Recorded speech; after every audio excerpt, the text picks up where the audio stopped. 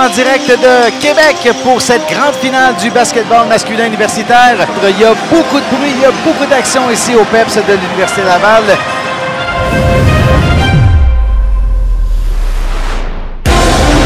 Joseph va percer jusqu'au panier et va déposer le ballon. Trois points, c'est Diop. C'est réussi! Et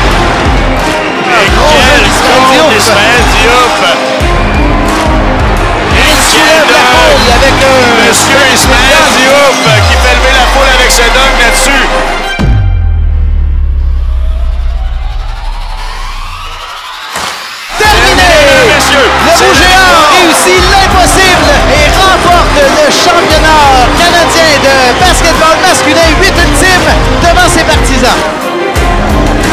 C'est un moment historique, la première médaille de l'histoire de ce programme du Or de l'Université Laval. On arrive en Effectivement. huitième place côté des hommes de Nathan Green et on cause la grande surprise.